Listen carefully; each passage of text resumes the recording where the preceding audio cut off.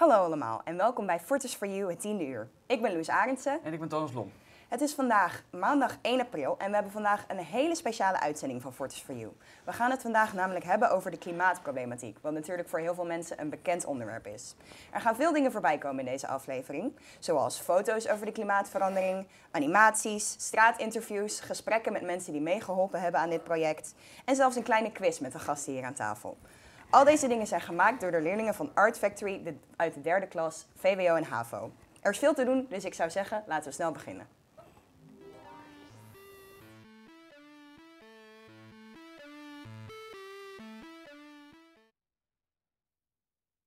In opdracht van ons programma hebben we zeven fotografen op pad gestuurd met het onderwerp klimaat. Iedereen heeft zich de afgelopen week ingezet om de klimaatproblemen in beeld te brengen.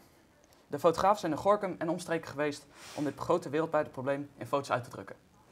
Aan tafel hier hebben we Annelie en Maartje. Jullie hebben foto's gemaakt over de plastic soep. We hebben een aantal vragen voor jullie. Ehm, de eerste vraag die we voor jullie hebben is, hoe zijn jullie te werk gegaan? Ehm, nou, eerst zijn we gewoon uh, na gaan denken over de meest bekendste klimaatproblemen. Eh, en bij mij kwam dan meteen eh, de plastic soep naar boven.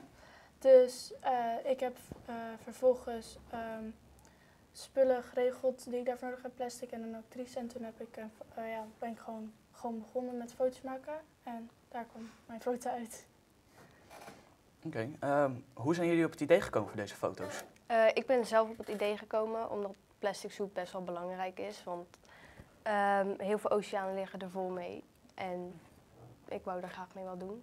Ja.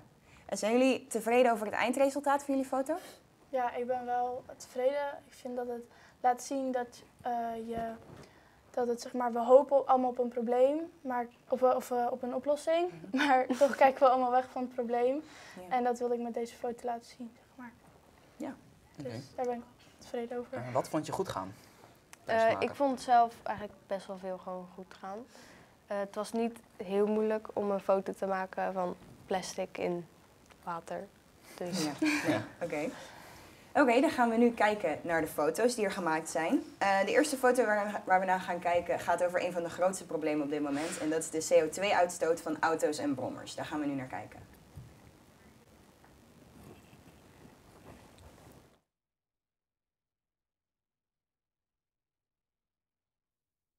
De uitstoot stijgt de temperatuur van onze planeet. De gletsjers en ijskappen op de Noord- en Zuidpool smelten en de zeespiegel stijgt.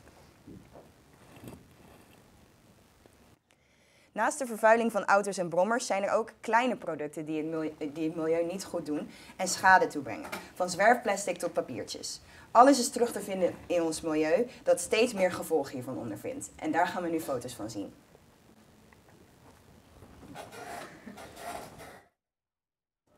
De plastic soep in de- is vooral in de oceanen een groot probleem.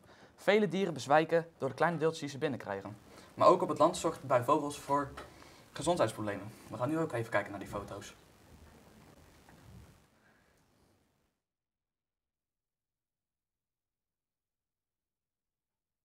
Eh Annelie en Maartje, dan ga ik jullie hartelijk bedanken voor het komen. En eh, dan gaan we nu door naar de reclame.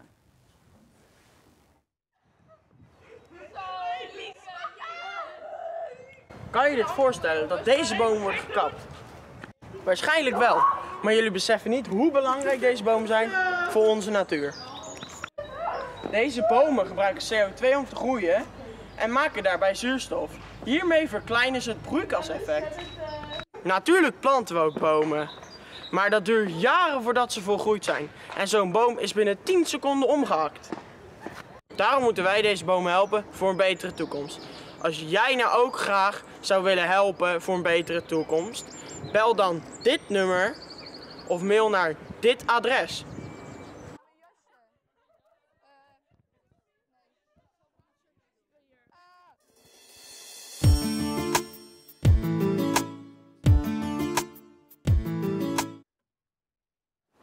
Welkom terug bij Fortis for You, het tiende uur. Hier aan tafel hebben wij Sophie en Thijs. Ehm, we hebben eerst een aantal vragen voor jullie. Ehm, de eerste vraag die we hebben voor jullie is: vinden jullie klimaatverandering een belangrijk onderwerp, persoonlijk? Ja, want eh, we slopen onze aarde in principe. En onze eigen kinderen moeten hier ook nog leven. Ja, natuurlijk. Oké, eh, hoe heeft eh, de klimaatverandering effect op jullie? Nou, ik merk wel tijdens het fietsen dat er eh, veel CO2-uitstoot is. Dat je niet meer de normale. Want ik woon zelf in het platteland. En dan merk je wel dat er betere lucht is. En dan ruik je dat meer dan in de stad. Ja. Doen jullie thuis zelf ook iets om de klimaatverandering tegen te gaan? Even. ja, wij hebben wel een paar installaties in ons huis laten verbouwen. Zodat wij eh, meer isoleren en minder Ah, ja. verwarming en zo hebben. En eh, ja, wij hebben zelf ook een elektrische auto. Dus. Ja. En Thijs, doe jij ook iets thuis? Nou, we zijn gestopt met gasgebruik eh, om mee te koken Oh ja. bijvoorbeeld. En zijn dus elektrisch gaan koken en ja. Ja, nee, dat is eh, top natuurlijk. We gaan een kleine quiz spelen met jullie. Ehm, ik zal even uitleggen hoe het werkt. We hebben een aantal vragen. En als je het antwoord weet op de vraag, dan mag je op de bel drukken. En degene die er het eerst op drukt, die mag het goede antwoord zeggen. Oké. De eerste vraag is... ehm, welk voedsel is het slechtst voor het klimaat? Is dat A, varkensvlees, B, kaas of C, rundvlees? Rundvlees volgens mij. Ja, weet je ook waarom misschien? Ehm, nee, eigenlijk niet. Ik heb hier staan. eh, rundvlees is sowieso het goede antwoord. Dus Oh, dat heb je goed gedaan. Ehm 4 kilo rundvlees zorgt voor evenveel uitstoot eh, als een tripje met de auto van Maastricht naar Parijs. Dus Wauw. dat is best een heel... eh, Dat is best wel Dat is ver. best Ja. veel. Dat is best veel. Eh, vraag 2. Met welke van deze opties verlaag je de CO2-uitstoot het meest? Is het A, de hoeveelheid voedsel die je weggooit halveren? Of B, twee dagen per week geen vlees eten? Twee dagen per week geen vlees eten. Dat is goed. Eh, weet je ook waarom? Ja, ik denk weer het verhaal van eh, het, de CO2-uitstoot bij het maken van het vlees. Als je twee dagen per week geen vlees eet, bespaar je ongeveer 130 kilogram CO2-uitstoot per jaar. En als je minder voedsel weggooit, bespaar je ongeveer 110 kilogram CO2 per jaar. Dus dat is een, een, eh, een klein verschil. Maar misschien moet je natuurlijk allebei Klein. proberen. Ehm, vraag 3 is... Tofu heeft een hogere klimaatimpact dan kaas. Is dat waar of niet waar?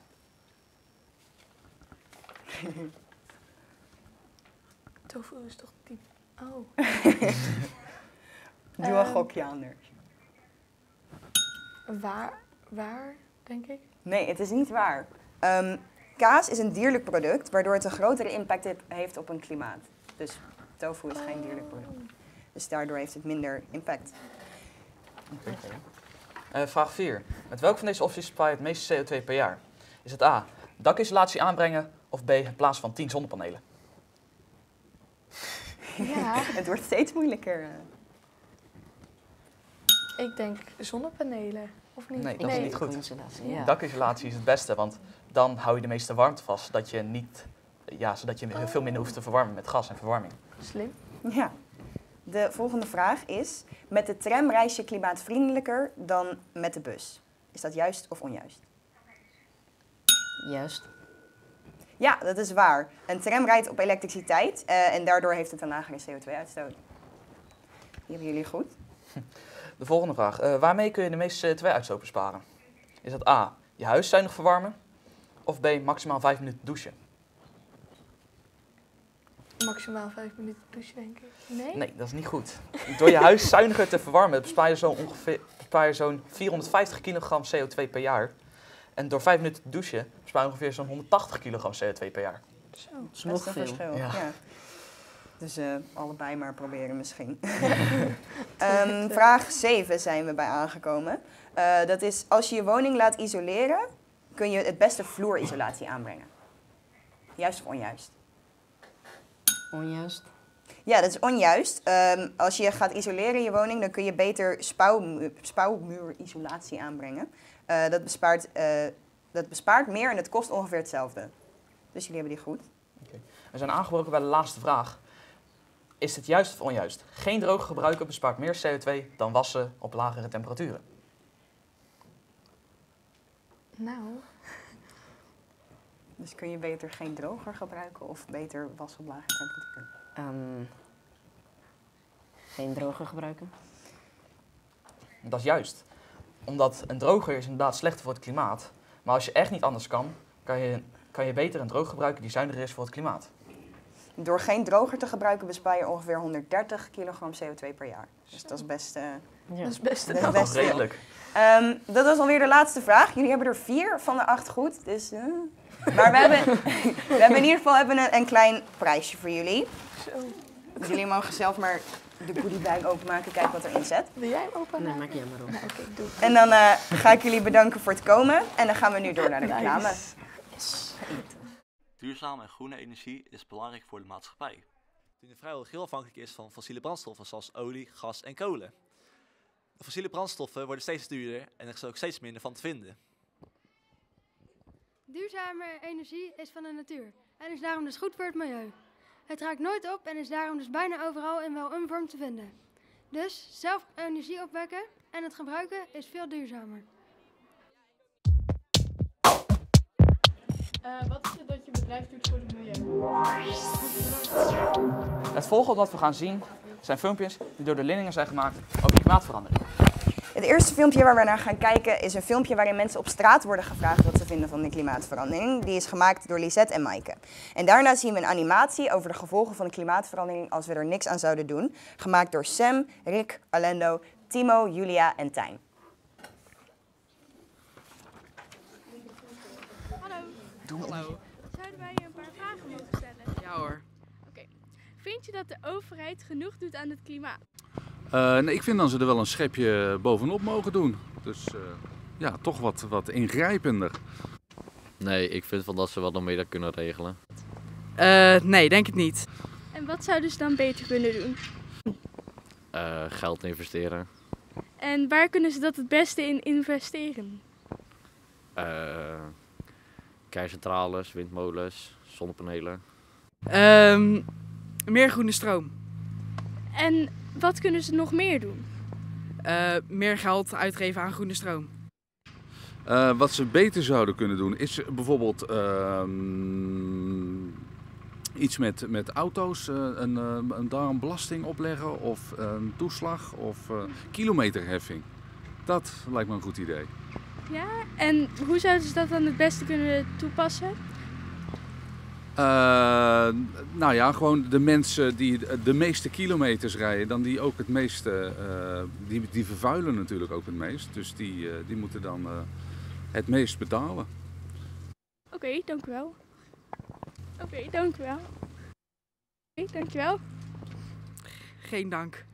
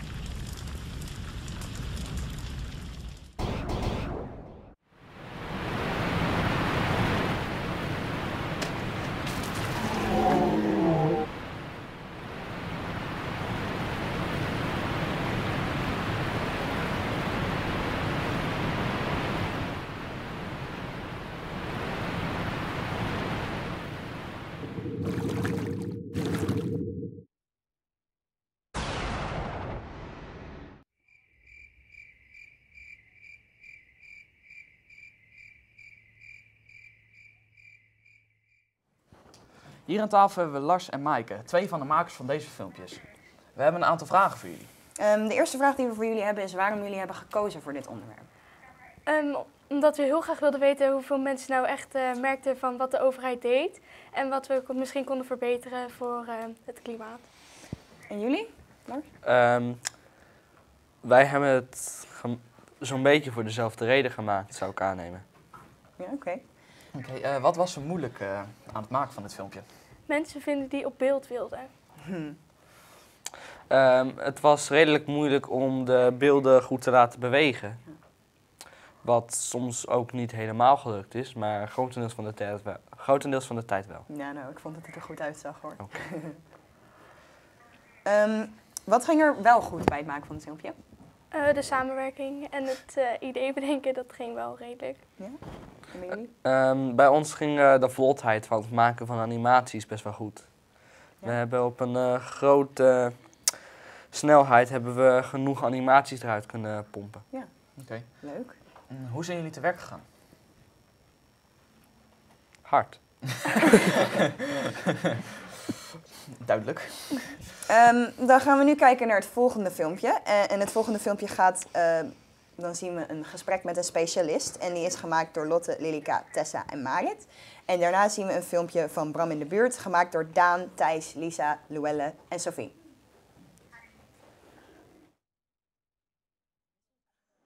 Eh, wat is het dat je bedrijf doet voor het milieu? Ons bedrijf doet heel veel voor het milieu. Eh, we zijn natuurlijk heel goed aan het scheiden van afval, proberen zo min mogelijk eh, spullen te gebruiken. Maar het allerbelangrijkste wat het bedrijf doet is, eh, het bedrijf doet heel veel grote rivierverruimingsprojecten. En met die rivierverruimingsprojecten mm, proberen we in één keer ook heel veel gebieden als natuur te ontwikkelen. Hoe lang doet uw bedrijf dit al? Ik zelf werk nu tien jaar bij dit bedrijf, maar het bedrijf bestond al. Eh, het is begonnen in 2000, dus we doen het al bijna 20 jaar. Eh, wat doet u thuis tegen milieuvervuiling? Tegen milieuvervuiling? Eh, nou, we scheiden het afval. En we proberen ook wel eh, dingen te kopen die niet zo heel erg verpakt zijn. Maar dat is best wel. Hoe lang doet u dit al? Oh, dat doen we al best wel. Echt wel poos. Echt wel een paar jaar. Wat vindt u dat er nog meer moet worden gedaan tegen milieuvervuiling? Nou, veel minder verpakkingsmateriaal. Veel minder Eh, wat doet deze winkel tegen het wordt sowieso plastic en karton gescheiden en dat wordt allemaal apart afgevoerd. En hoe lang doet deze winkel dit al? Ah, ja, echt al lang. Ik werk hier meer dan twee jaar en we doen het eigenlijk altijd al. Dus. Eh, waarom doet de winkel dit? Ehm, ja, ik heb geen idee. Het lijkt me voor het milieu, maar het is ook makkelijker om het weer af te voeren voor ons. Dus als we alles scheiden, dan kunnen we het gewoon zo terugsturen naar de HEMA. Dus, Ehm, eh, wat vindt u dat er nog meer moet worden gedaan tegen milieuvervuiling? Ah, ik denk dat er echt wel veel minder plastic gestuurd kan worden, want echt alles zit verpakt in plastic. Dus ik denk dat als je dat niet doet, dat het heel veel scheelt.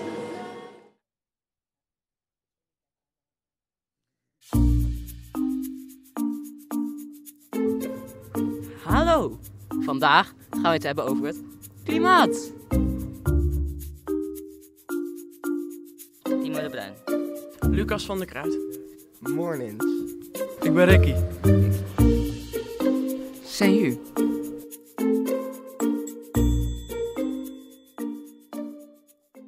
Sorry? Goedemorgen. Ehm, wat vindt u van de klimaatverandering op het moment?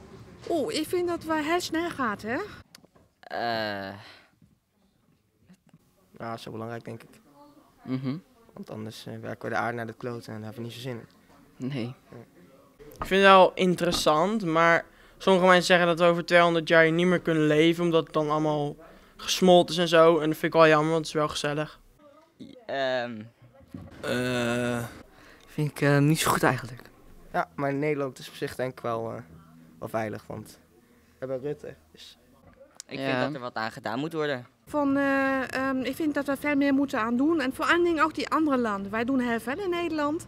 Maar ik denk dat Polen en Rusland daar al best wel veel wat Ja. meer mogen gaan doen. Nou, hoezo vind je dat? Nou ja, de ijskappen, de ijsbeertjes. Ja, vind ik eigenlijk niet zo fijn. Al die, al die water dat omhoog gaat. Mhm. Straks is Nederlands er niet meer. We hebben gewoon geen Nederland. Ja, ik vind het gewoon goed. Ja. Ja, nu eh, die zwarte sneeuw in, eh, in eh, Rusland, hè? Mhm. Dat is een beetje raar aan zich, hè? Stel dat de ijskappen nou gaan smelten en dat wij dan hier natte voeten krijgen. Ja, dat is niet goed. Nee. Nee. Ja, nou, we- wat moeten we dan doen? Moeten we naar Mars of zo? Daar is het volgens mij heel koud. Ja, dan moet ik toch naar China. dan word ik niet zo blij natuurlijk. Nee. Nee.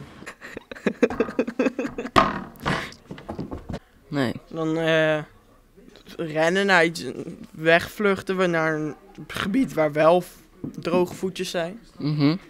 En doe je zelf iets tegen die klimaatverandering? Ik weet niet wat ik er tegen moet doen. Nee, ik doe er eigenlijk vrij weinig mee. Nou, we hebben eh, eh, onze ehm kruipruimte gaan isoleerd. Nou, afval scheiden. Ja, dat doen we wel. Eh, nee. Ik weet niet wat ik er tegen kan doen. Ik heb alleen gehoord dat je geen bomen moet kappen. Maar Eh, ik eh, kap sowieso geen bomen, dus dat vind ik al goed. Dat is wel netjes. Ja. Dus ook voor de mensen thuis, kap geen bomen meer. Het is... Zeker niet doen. Nee, want bomen kappen is slecht voor het milieu. Top. Ja. Dat was hem. Oké. Ja, dat Ja, deze Geen luchtvervuiling. Dat doen we niet. Dus we hebben ook minder dat eh, meer, minder moeten gaan stoken.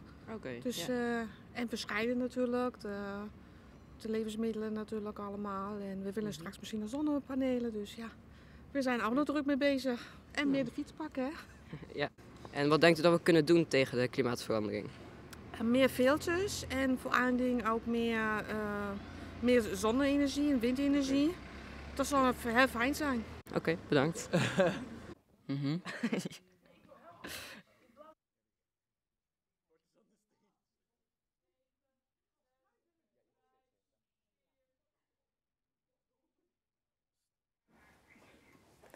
Hier aan tafel hebben we Daan en Lilika, medemakers van deze filmpjes. Eh, we hebben ook voor jullie een aantal vragen over de filmpjes. Ehm, waarom hebben jullie gekozen voor dit onderwerp? Eh, we wilden graag weten wat verschillende mensen van het milieu vonden en wat ze er tegen doen. En jullie? Ja, we hebben ongeveer eh, om dezelfde reden interviews gemaakt, maar we hadden ook meer eh, een beetje met een humoristische manier het eh, filmen. Oké. Eh, wat was er moeilijk aan het maken van dit filmpje? Eh, het benaderen van een specialist, want die konden we niet echt vinden. Ja, en bij ons, eh, toen we op straat gingen interviewen, waren er heel veel mensen die hadden geen tijd of die moesten naar werk of zo. Dan Ja. Heel veel mensen weigerden dus. Ehm, wat ging er wel goed bij het maken van dit filmpje? Eh, het benaderen van mensen op de straat, want dat was iets makkelijker. Oké. Eh, hoe zijn jullie te werk gegaan? Ehm, Hoe hebben nou, jullie dit idee gekregen? nou ja, we hebben specialisten gemaild en toen hebben we mensen op straat ingeviewd en toen gewoon geëdit eigenlijk. Ja. Wij zijn eerst wat vragen gaan voorbereiden. Toen zijn we eerst de straat op opgegaan en daar mensen geïnterviewd. En uiteindelijk dus slecht weer en zo zijn we ook op school mensen gaan interviewen. Oké. Eh, we gaan jullie hartelijk bedanken voor jullie komst. Dit was Fort Review, eh 10 uur van maandag 1 april. Wilt u meer zien, bekijk dan onze site en volg ons op Instagram, @fortreview. Tot volgende week.